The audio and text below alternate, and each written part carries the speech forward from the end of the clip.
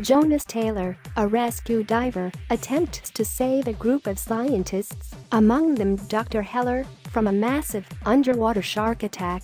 Taylor is able to rescue some, but refuses to go back to save the rest, having realized that going back for the rest would mean the death of all.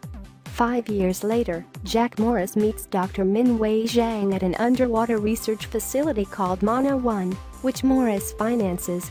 Zhang and his daughter, Suyin, an oceanographer, are supervising a mission to dive further into the James Mackreides, another crew member at the station, suggests sending Taylor down to attempt to rescue after he suspects the object which hit the underwater ship to be Megalodon, a giant shark thought to have been extinct.